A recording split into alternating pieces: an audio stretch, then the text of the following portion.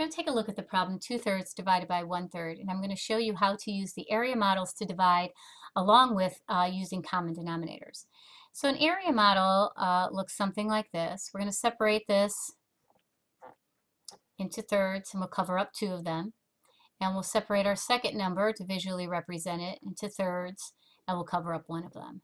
Since these both have common denominators, we can go ahead and work this problem because it's saying how many one-thirds fit into two-thirds. So I'm looking at taking this one-third. Well, I see one can fit in here, and another one can fit in here. So my answer would be 2. There are two one-thirds in two-thirds. So to show this another way, we have two-thirds, and we're dividing it by one-third.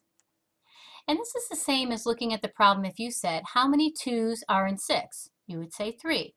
How many 20's are in 60? You would say 3. How many 200s are in 600s? You would say 3. So it doesn't matter the unit that we're using, it just is a division problem. So I can go ahead and pretend like these units don't exist, and I can just divide the numerators. 2 divided by 1 equals 2 and that's representing it algebraically.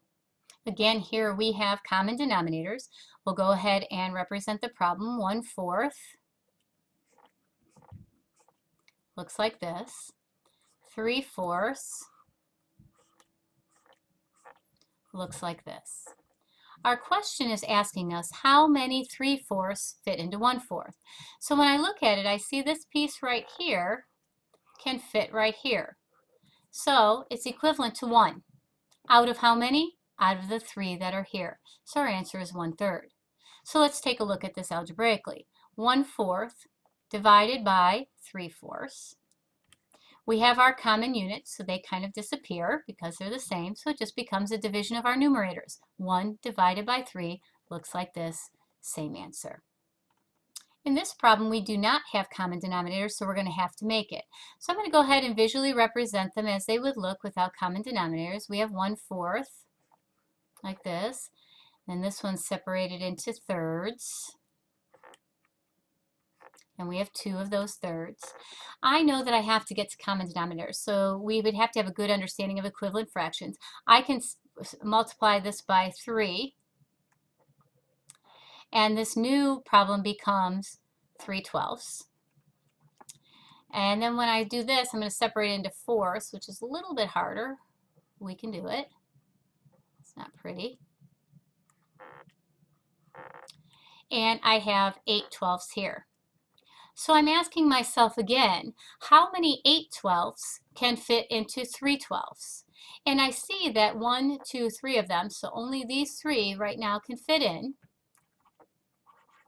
to right over here. Three of them can fit in. Out of how many total? Out of eight. Let's take a look at the algebra problem. Since we have the common denominators, these units disappear. They don't matter. And we just divide the numerators. 3 divided by 8 becomes 3 eighths. Same answer. In this problem, we have 1 whole divided by 1 fourth. So if we go ahead and visually represent 1 whole, it would look something like this. And then we would have 1 fourth representing like this. So again, our problem asks us how many 1 fourths fit into one whole. Well, I still need to have some common denominators, so I'm going to go ahead and separate this into fourths because that would be the easiest. So I want to know how many of these can fit into here. Well, I see one can fit here, another one can fit here, another one can fit here, and another one can fit here. So my answer is 4.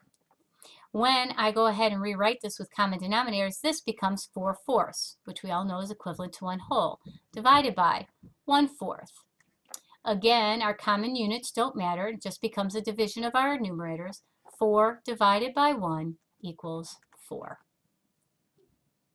Okay, this problem is 2 thirds divided by 1 sixth. So we're asking how many 1 sixths can fit into 2 thirds. We see they don't have common denominators, so we're going to have to go ahead and make those common denominators. So we have 2 thirds, and we have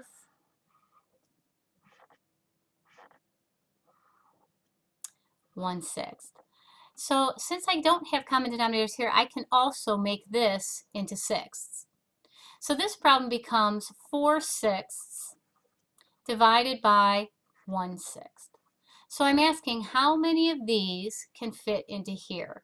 So I see there's one here, two, three, and four. So how many 1 sixths are in 4 sixths?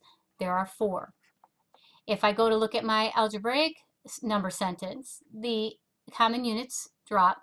This becomes 4 divided by 1, which is equal to 4. Let's take a look at a mixed number divided by a fraction. This says 2.5 divided by 3 fourths. So we're going to go ahead and visually represent 2.5. So here's 1, here's 2, and here's a half. So two wholes and a half more divided by 3 fourths, which can be represented with one area model, and here's 3 fourths. So we want to know how many of these 3 fourths can fit into 2.5. So we're going to go ahead and separate this into fourths since this is into fourths, and I can do that. One, two, three, four. One, two, three, four. And I'm going to separate here. I'll make a little longer lines so you can see them. Okay, and this is all colored in. So we're going to go ahead and take a look and see how many of this grouping can fit into here.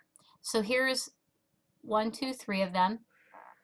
This would be one of them. Then another one, two, three.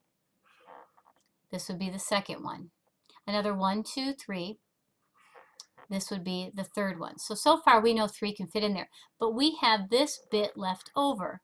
So we know that this can fit into here. So that's another one out of how many? Three. So our answer is three and one third. There are three and one third, three fourths that fit in two and a half. So let's take a look at it algebraically. Two and a half becomes one, two, three, four, five, six, seven, eight, nine, ten fourths. Divided by three fourths.